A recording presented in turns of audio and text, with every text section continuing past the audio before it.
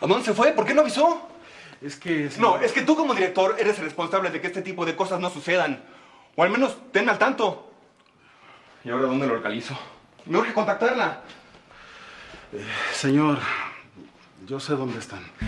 Creo que se fueron a cenar. Ah, qué bien. Me acaban de confirmar un evento muy importante en vivo desde el centro de Tokio. Y este par se fue a cenar como si fueran un par de turistas. Importante que Lorena esté presente. Para una imagen del mundial. Localízalos. Dile a Fabián que lo necesito aquí en 10 minutos. Sí, señor. Se lo dije, este imbécil. Ya me metió en problemas otra vez.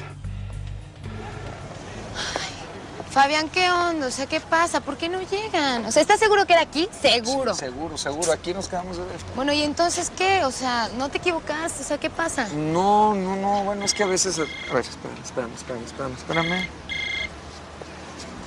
Bueno, Fabián, qué bueno que te encuentro. ¿qué pasó? El jefe está furioso, Fabián. Están pidiendo a Lorena del Centro Internacional y ustedes quién sabe dónde andan. Necesitan venirse de inmediato. Ok, nosotros te echamos la mano. Vamos para allá. Órale. Adiós. ¿Qué? ¿Qué pasó? Pues nada, que se equivocaron y, y tenemos que irnos a Sendai.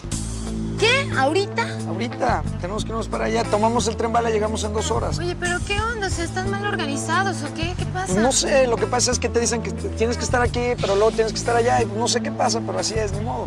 Tenemos que ir para allá. Vamos. Órale, vamos.